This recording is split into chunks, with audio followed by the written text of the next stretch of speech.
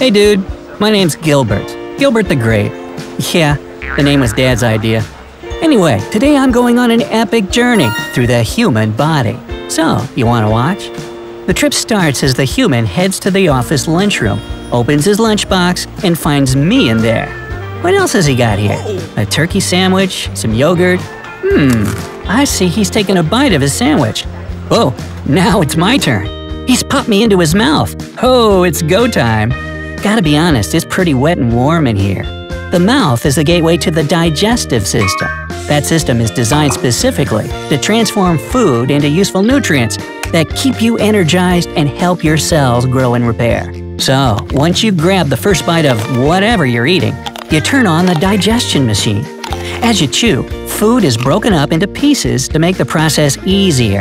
Saliva comes in handy as it mixes with food and breaks it down even more. That way, your stomach doesn't have to digest whole chunks of food. By the way, here's a fun fact. The amount of saliva you produce in a year could fill two medium-sized bathtubs, almost a pool full of drool. Wow, it's really raining spit in here. Ew. Whoa, I better watch out for these teeth. Wouldn't want to end up like Turkey Boy over there. It's hard since this guy is using his tongue to roll food around in his mouth and toward his teeth. I really don't feel like becoming jam today, so I'm gonna just bypass all this chewing. Down the chute we go! Whee! We're now heading into the throat. They also call it the pharynx. Uh-oh, fork in the road. Which way do I go? Eeny, meeny, miny, mo. Looks like this way we must go. Hang on. Oh, I think I took a wrong turn. Why is everything shaking? Oh, poor human is coughing like crazy. Somebody give him a nice slap on the back. Ah, there we go, coming back up. Ooh, sorry, dude. Whew, that was close. Almost ended up in his lungs. That wouldn't be very good. Alright, I'm back on the road, so let's give it another try. I've correctly turned into the swallowing tube that goes by the sophisticated name of esophagus. I like to call it the food chute, but it's a lot less spacey than I imagined. I'm kinda getting squished in here. Uh-oh, how do I keep going down? Oh, I see. The muscles in the walls of this guy's esophagus are squeezing behind me and relaxing in front of me. This is a process called peristalsis, and it's what moves me through your digestive system. A couple of seconds later, and we've now reached the end of the tunnel. There's a muscle here that opens up to let food into the stomach and keeps it from coming back out into the esophagus. It's kind of like the TSA in a way. Hey, I'm just a tourist here, sir. Please let me in. Yay! I've passed through the valve and into the stomach. It reminds me of a sack, and let me try those walls. Whoa, that's a strong one. It's all muscle. I'm not surprised, actually. The stomach holds, mixes, and grinds the food up into a mush, so it has to be pretty strong. Quite honestly, this doesn't look too… Oh my, what's that? Ow, that burns like crazy. Oh, oh, oh, hot. Gotta get out of this stomach acid or else I'll turn into liquid or paste like turkey sandwich over there. That's okay, I've come prepared. I brought this handy-dandy little device that'll encase me in a protective bubble. Your food usually doesn't have this, but hey, I got connections. It's classified. I just have to push this button. There. Now I can keep talking to you the whole way instead of turning into grape jelly. Next stop, the small intestine. This long coiled snaky organ is made up of three sections. When I say long, I mean it.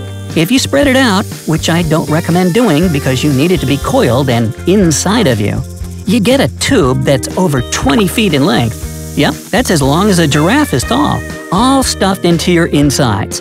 I must say, it's pretty warm in here. Almost feels like a tropical resort. Except I'm in an ocean of bile. Oh yeah, I'm protected in my little bubble. No worries. Bile is crucial to digest fat and take all the waste out of your blood. So be thankful your liver produces it. Your pancreas also helps the process with some good enzymes. And that thing over there that looks like a pear, that's the gallbladder. It's located under the liver and keeps bile in it until the right moment comes. Man, this thing really is coiled, huh? I'm getting kinda dizzy from the twists and turns. But no going back now. These contracting intestinal walls keep pushing me forward. Looks like I'm already in the final section of the small intestine and on to the next leg of my journey, the large intestine. Also known as the colon, it's a muscular tube that's 5 to 6 feet long. Hold the phone. Shh. Do you hear that? I'm not alone. I'm surrounded. They're coming in closer. It's, it's bacteria. Oh, there's tons of them in here. Uh oh. Is this person sick with some intestinal parasite or something? Nah, your intestines need good bacteria to help them break down food, vitamins, and nutrients so that your body can use them. Sup, peeps? Hey, what's that little dangly thing over there at the entrance? Ah, that must be the appendix. It doesn't do much besides house bacteria that might be released into the gut. It's also got some tissues that are useful for your immune system. But it's mostly a useless little thing, so people can still live without it. Hey, if your appendix gets inflamed, a doctor will cut it out of you. Really? Looks like this guy still has his. Good for you. Anyway, we're now in the large intestine, and I'm glad it's a little roomier in here. Had I not grabbed my fancy top secret protective bubble, I'd be talking to you now as a liquidy yellowish mush of waste. As these muscle contractions push me through the colon, I'd have all the water sucked out of me. My final form? Stool. Yep, poo, doo doo, number two, whatever you like to call it. It's formed in the large intestine. Still, loads of bacteria all over the place. They're really hard at work, eh? Well, there can't be too little or too many, otherwise, you'd have digestive problems like food intolerances. They also play a major role in your immunity, and that's why you have trillions of them in your gut. Hey, keep up the good work, guys! I'm on my way through the left colon. When it gets too full of stool, it decides to dump it all into the rectum because it can't hold it all by itself. It usually takes about 36 hours for what's left of your food, not much now, just waste, to reach this point. But I've been speeding through this journey because I've got some other great stuff to do. so let's head to the rectum already. Geronimo! The rectum is a straight chamber that's about 8 inches long. It has special sensors like this one or that one there that let you know when there's something you should get rid of. They send a signal to the brain when stool or gas want to make their exit. That's about the time when a thought pops up in your brain oh, gotta go to the bathroom. If the moment is right for you, that is, you find a toilet, the sphincters relax and ta da! Your stool makes its exit. Bye bye, pizza from yesterday's breakfast. What? No one else here has cold pizza for breakfast? Alright, then let me know down in the comments what your typical breakfast looks like. Anyway, when the moment isn't exactly right to release stool just yet, your sphincters contract. Those rectum sensors help too, so that the urge to release its contents disappears for a while. You should be happy when your rectum and sphincters are working hard to keep stuff in when the timing isn't good. Like when you're driving to work, on a date, getting groceries, sleeping. But when you just can't resist the urge anymore, the external sphincter gives you a couple more minutes or however long you need until you make it to the bathroom. Well, not sure if the human is ready, but I'd really like to go now. Maybe I can hotwire these sensors to make my great escape. Oh yeah, this guy is at work, isn't he?